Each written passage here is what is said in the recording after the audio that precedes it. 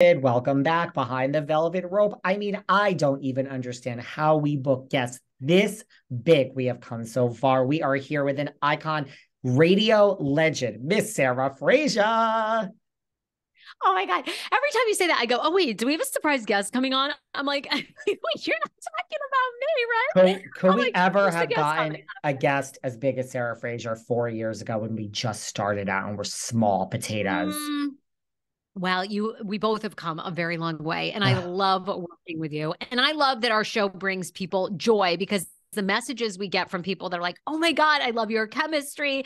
And then the haters whether we're talking about Ozempic or I don't know, I just got a one-star review someone said, "Leave your politics off air." And then really? I, I wish I could I, I, wish I could reply. I don't even. I don't even remember. I mean, we barely speak politics. I mean, I don't give a fuck. I want to be able to respond on the Apple um inner like the Apple one stars to go fuck yourself. I don't give a shit. Go listen to the other 17 bazillion fucking podcasts that are out there. You think I give two rips what you think about what I think? No, fuck you. Everyone wanted me to have my my friend Siggy on the show. Siggy, Siggy don't want to talk housewife, guys. Siggy don't want to talk housewife. She's into that would be a she great... wants to oh talk oh politics. God. Siggy is like she is politics. She was just with Caitlyn Jenner. I saw like Siggy's really like she's like in the inner circle of like she's uh, really like, no i mean like well, she's, really close she's but like MAGA he, Nation. but he like literally loves her like it's not it's not some people thought it was in her head and this is i'm just putting it like he like the man loves her so anyway let's she not even be part there. of Trump. okay she right, will we'll be. She will. No, honestly, honestly, I'm telling you, if he was ever president again, I really am not serious. I She'll think, be in the cabinet. I, yes, I'm serious, you guys. We would see Siggy like in some position of something. I'm not kidding mm-hmm. you. Like she's like, look, I, I just I I believe uh, like I like authentic people that whatever it is, whether you agree or not, it's their thing, and and they are committed to it. Like I'm committed to this and no one could tell me what to do. That's why I had my falling out with Marge and I had Laura on the podcast. Oh, um, I want to hear that. I want to hear this story so badly. And then I have to tell I'm, I'm so depressed. I was rejected by a childhood idol. I went to Craig's and I couldn't even believe it. I got up to ask the celebrity for a, a picture and he said, Oh, my friends are leaving.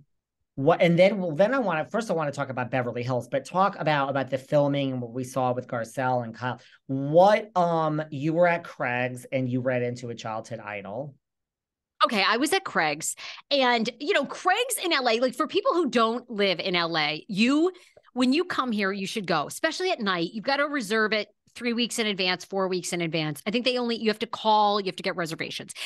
I went at Friday night, six o'clock. Everybody should go. At eh, did you have a reservation? Because you and I didn't the night. We sat at the bar. We sat at the bar and we sat next to the guy in hacks. And I'm like, I'm talking to him. I'm talking to him. I don't know who the fuck that like, is. Is this guy? I'm like, he's a famous actor. And he was very sweet, took a drunken photo with me, even though I didn't know who he was. Okay, we go to Craig's on Friday night, stacked table. I'm talking Noah Wyle from ER. Oh. I am oh. talking um, um, Paul Reiser, the very, very famous sitcom actor. That's a good one. Paul Reiser. LeVar Burton, all at the same table. Another one of the doctors that was famously on ER forever. I cannot remember, kind of short, baldish guy.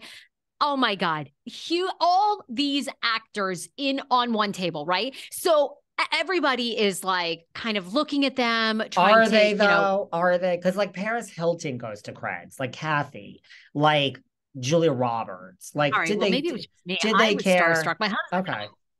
I'm well, just asking. I, no, I think that's the thing. I think I, you know, I need to start being cooler in LA because I am such a fangirl. So anyway, I don't like Girl, to bother people. While we need to be cool when we go to our event in three days. I'm gonna be cool. Believe me, I'm gonna pretend like I don't give a fuck about these people. Okay. I've realized that's the LA way. That's that's I the LA way, many, girl. I give too many fucks.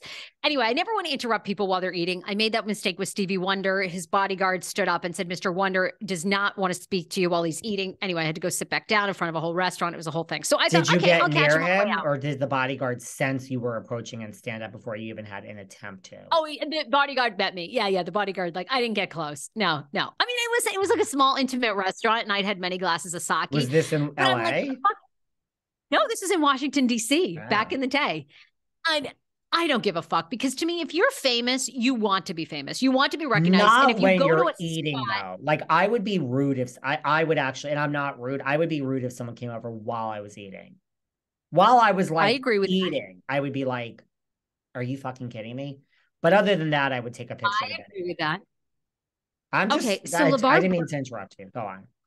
No, LeVar Burton from Reading Rainbow, who I grew up with, who babysat me, by the way. When I, you know, my mom, my parents would like turn on the TV, they were probably hungover. I would watch Reading Rainbow nonstop. I mean, the man practically taught me how to write. I get up, I go, LeVar, I'm such a fan. And, you know, he's, this is after the eight, he's walking out. I go, I would love a photo with you. And he goes, Oh, my friends, they're, uh, they're leaving. I go, okay, okay, go, go join them. And I thought, you, I'm never speaking highly of you again. That's it. No photo, fuck off. And did anyone? Because like, if you do that at like polo, like, there that's it. Did they care? Like the the people at Craig's didn't care, did they? No, Like, oh. the waitress that waited on us, shout out to Kylie, who was amazing. At, no, she was starstruck, starstruck too. And I go, you work here and you're starstruck. She's like, yeah. She's like, this. She's like, these. This group of of super successful sitcom actors. They come here every Friday night. They hold court. I am always like, she's like, I'm always starstruck. I'm like, oh well. I'm thinking if she's like that, then I'm gonna. No, they never cared. The restaurant didn't care at all. I do believe too. Kyle, supposedly Kyle Richards and Faye Resnick were also there. However, I did not see them in the dining Excuse room on the way out. Excuse me, that is what you should have fucking led with.